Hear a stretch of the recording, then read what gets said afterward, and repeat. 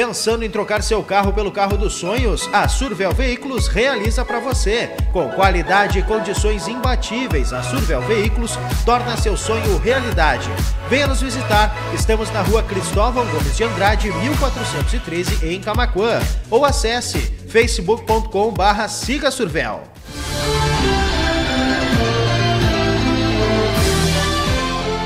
E o carnaval, Carlinhos? Como é que tá a situação? Escolha da rainha? O que, que tu pode contar de novo pra gente aí? Até foi bom tu, tu tocar nesse assunto, Emerson. Nós temos até convidando o pessoal, né? Para que também venham se inscrever. O comércio local, que se quiser colocar candidata a rainha e princesas do carnaval, que venham aqui na secretaria, pegam as fichas de inscrições das meninas e inscrevam. Nós vamos ter uma premiação em dinheiro para as candidatas, são 400 reais para a rainha e 300 para cada princesa eleita.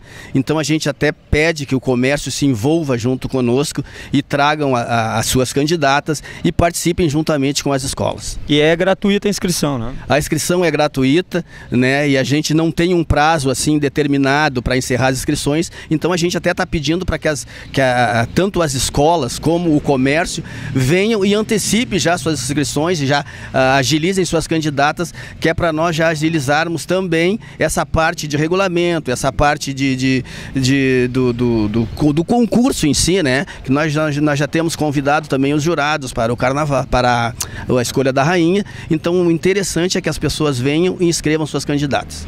E também, uh, um pouquinho agora, no, no, seguindo no carnaval, camarotes, a gente já meio que está sabendo que não, não tem mais camarote disponível, ainda tem algum, ou encerrou, como é que está a situação? É, realmente isso foi uma coisa incomum esse ano, é, mas uma coisa bem comum, que quando se abriu o edital do carnaval, nós conseguimos vender todos os camarotes. Não tem mais camarotes disponíveis? Não tem, vendemos todos os, os camarotes em tempo recorde, no primeiro dia que foi lançado o edital, até às 11 da manhã nós encerramos a venda dos camarotes. Isso é uma coisa inédita, não tinha acontecido ainda. Então é para te ver o interesse do, do, da população tapense em participar do carnaval, em brincar e vir para a avenida. Isso já mostra que o próximo carnaval vai ser bastante movimentado na cidade. Né?